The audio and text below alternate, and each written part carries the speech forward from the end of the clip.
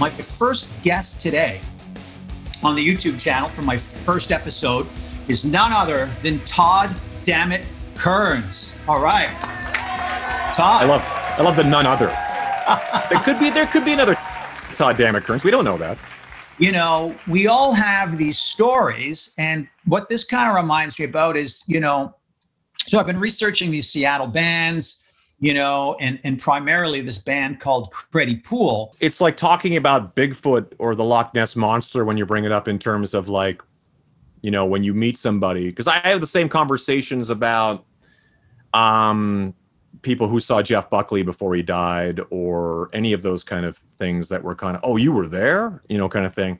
A lot of those Creddy Pool things existed in cassette tapes with no song titles on the thing like here listen to this you know you don't even right. know what and you're like what the hell is this this is amazing and you're and, and, then eventually of course it's on cds what i heard i don't know if this is true or not but i heard that uh that punchy the guitar player from Creddy Pool uh, you know, he was pretty tight with Duff. I mean, obviously being a Seattle band. Right. Yeah. And I know that Duff was heavily involved in, you know, punk rock and uh, you know, more of the grungier type sound before, you know, hooking up with Guns and Roses. So I heard that uh, Punchy, the guitar player from Creddy Pool, and Duff, you know, loaded up the truck and, you know, moved to Beverly.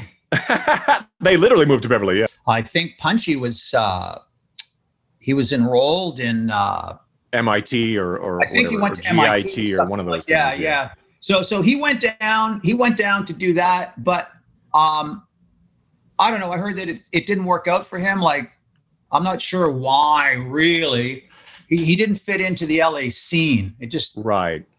And I heard that once things started taking off, you know, that he he packed his bags and he, you know, he got an offer to go back and you know jump into this project that was you know part of that that grunge scene which he sure which his buddies in Seattle said this is this is the place you you got to be. And even the things that they were in prior to that, especially Punchy's earlier punk rock stuff, um, like bands like Personality Crisis from Winnipeg and all that kind of stuff. Those guys seem to cross paths with that whole scene a lot more. Because when Slash ta- or when uh, Duff talks about going into Vancouver at 14 years old and playing like the Smiling Buddha and all that kind of stuff, yeah, that's yeah, the kind yeah. of stuff those guys were doing. the only connection I have is you know, is a bizarre. It feels like when you talk about the Loch Ness monster, you see those or that Bigfoot photo, you know, this thing, and it's like is a random photo of of Punchy at. I want to say they people been uh, at the time.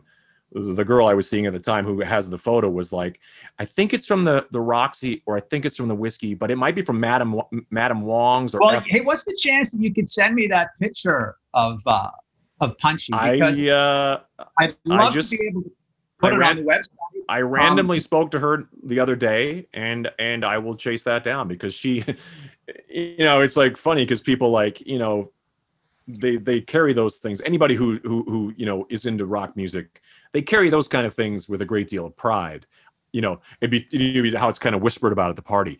That girl has a picture of Punchy on stage, pre Creddy Pool, and you're like, it's like I've got a picture of, of an, I've got a picture that no one's ever seen of Sid Vicious. You know, yeah, like, exactly, exactly. It's like you know, I think we'll get to the bottom of this. You know, we're starting to get some. I'm excited.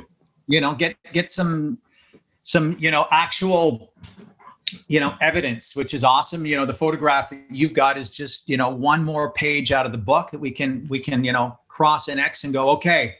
There's this. You know. At the time, it was Mother Love Bone Creddy Pool. Those were the two names that were being, you know, circulated out of Seattle. I wasn't as aware of Malfunkshun until after the fact, but those two bands, and we all know what happened with, with Mother Love Bone. They went on to be one of the biggest bands on the planet. So the fact that the other one, I'm like, well, now I need to know.